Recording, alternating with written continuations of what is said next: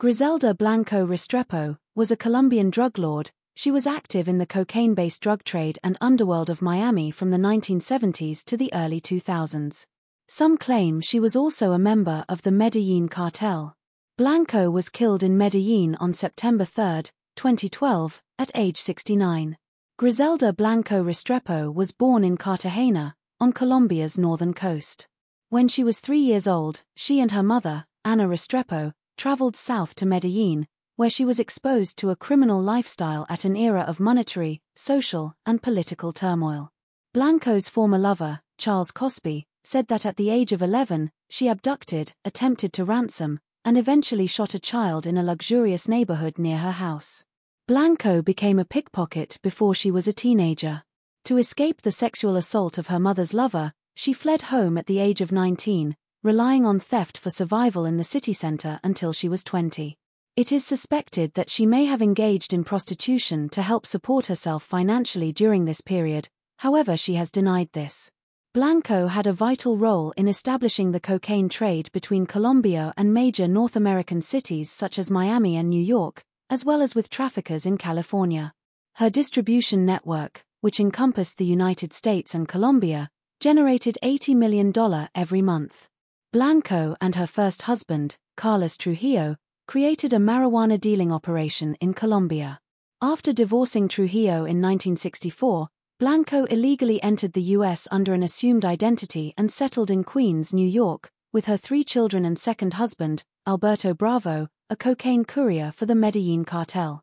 They established a lucrative narcotics enterprise in New York City.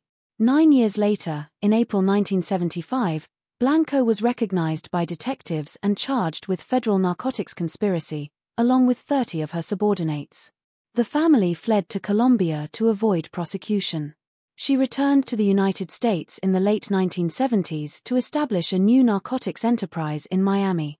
Her returning home coincided with the onset of multiple violent public conflicts, most notably, hundreds of killings each year that afflicted the metro Miami region in the 1980s, known as the Miami Drug War.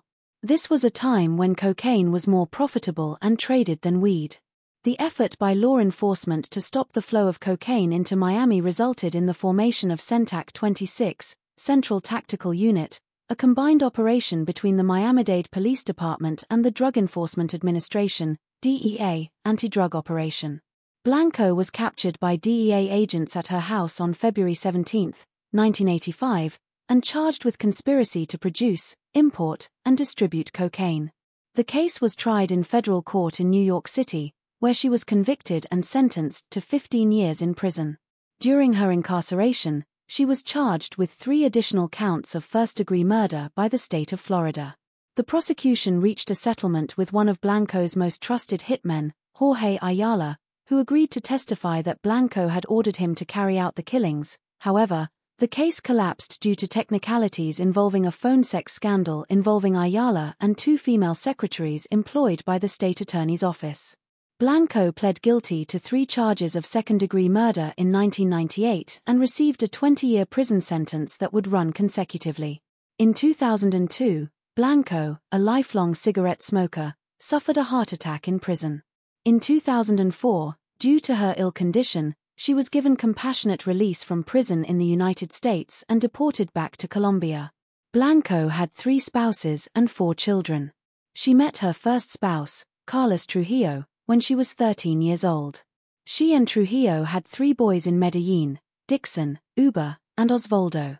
All three were born before Blanco turned 21. Blanco and Trujillo were divorced but remained business partners. Blanco ordered Trujillo's execution after an altercation over a failed business venture. Blanco married Alberto Bravo after her marriage to Trujillo ended. After returning to Colombia, Blanco accused Bravo of taking millions of dollars from the business, while Bravo accused Blanco of exaggerating her godmother Monica. Blanco murdered Bravo by shooting him in the head. Blanco had her youngest son, Michael Corleone Blanco, named after the character Michael Corleone from the film The Godfather, with her third husband, Dario Sepulveda. Sepulveda abandoned her in 1983, returned to Colombia, and abducted Michael when he and Blanco disputed over custody. Blanco paid to have Sepulveda slain in Colombia, and her son returned to her in the United States. According to the Miami New Times, Michael's father and older siblings were murdered before he reached adulthood. His mother was imprisoned for the most of his youth and adolescence, therefore he was reared by his paternal grandmother and legal guardians. Michael was placed under house arrest in 2012 after being sentenced to two felony charges of cocaine trafficking and conspiracy to distribute cocaine. In a 2018 episode of the Investigation Discovery documentary series Evil Lives Here, he discussed his lonely upbringing. He appeared in the 2019 VH1 docuseries Cartel Crew, which follows the descendants of drug lords. He also has a clothing line called Pure Blanco. Michael claims his mother became a born again Christian in her final years. On September 3, 2012, Blanco and her pregnant daughter in law visited the Cardiso butcher store on the corner of 29th Street in Medellin. As she departed, an assassin riding a motorbike shot her twice, killing her. The act resembled Blanco's assassination method during the Miami drug war.